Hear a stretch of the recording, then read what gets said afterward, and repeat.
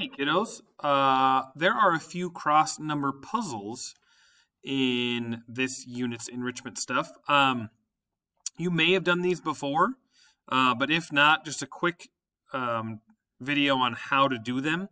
Um, a cross number puzzle is just like a crossword a crossword puzzle, but the difference being you are going to solve math problems and write numbers in the puzzle as opposed to words.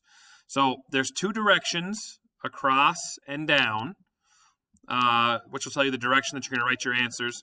You can look up here. Um, each box gets one digit. So you're not going to write multiple digits inside of one box.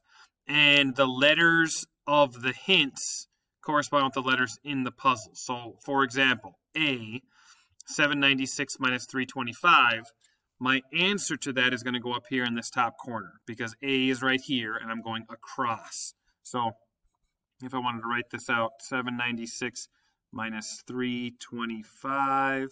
Let's see, 6 minus 1, 6 minus 5 is 1, 9 minus 2 is 7, 7 minus 3 is 4. So my answer that's going to go way up here in the corner is going to be 471.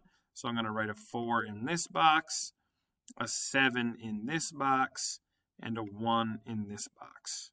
Um, so that's how this is going to work, basically.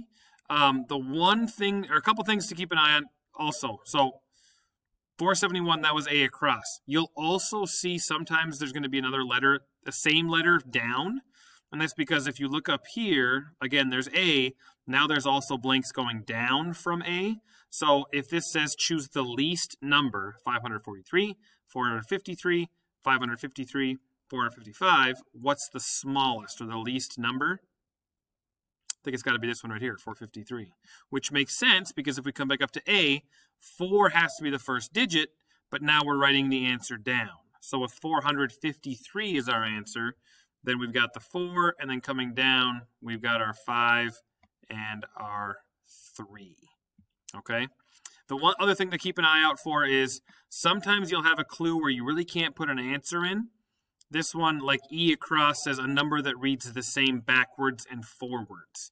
So you know in E, if it reads the same backwards and forwards, this digit and this digit have to be the same, and then the one in the middle might be different, but we don't know what any of those digits are. But, as you can also see, if you figure out what B down is, and F down is, and C down is, you'll get that answer done anyway. So you might have to skip one if it doesn't quite make sense, and then you can check it once you got everything else filled out. So, but that's how crossword puzzles work. Have fun.